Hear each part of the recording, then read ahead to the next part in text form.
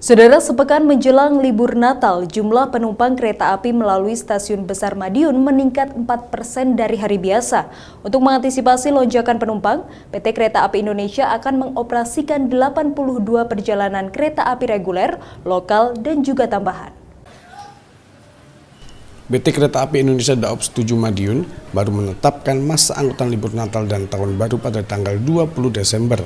Namun, lonjakan penumpang melalui stasiun besar Madiun sudah terpantau sejak sepekan terakhir. Diprediksi lonjakan penumpang akan terus meningkat sebanyak 4% dari jumlah penumpang angkutan Natal dan Tahun Baru pada tahun 2017 lalu. Tahun ini PT KAI Daob 7 memprediksi jumlah penumpang akan mencapai 269.000 penumpang.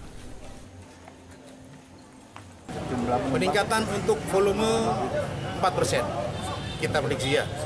Diperkirakan puncaknya di sebelum Natal tahun baru tanggal 21 apa Desember. Sedangkan nanti di tahun barunya tanggal 31 walaupun tadi sudah apa sesuai dengan sambutan Pak Menhub memang ada beberapa yang hari ini juga udah mulai tinggi ya. Dari kemarin kita sudah mencapai 17 ribu itu perharinya volumenya ya. Mulai sejak kapan itu Pak peningkatan? sejak dua hari yang lalu. Dua hari yang lalu. dua hari yang lalu gimana? Normalnya biasanya berapa? Normalnya itu antara 11 sampai 12 ribu. Sementara itu untuk mengantisipasi lonjakan penumpang, PT Kereta Api Indonesia akan mengoperasionalkan 82 perjalanan kereta reguler, lokal, dan tambahan, serta akan menyiagakan sejumlah personil khusus yang akan disebar di sejumlah titik rawan.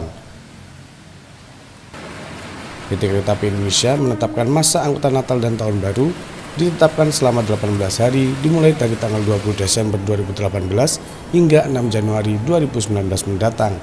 Arif Hidayat, Kompas TV, Madiun, Jawa Timur.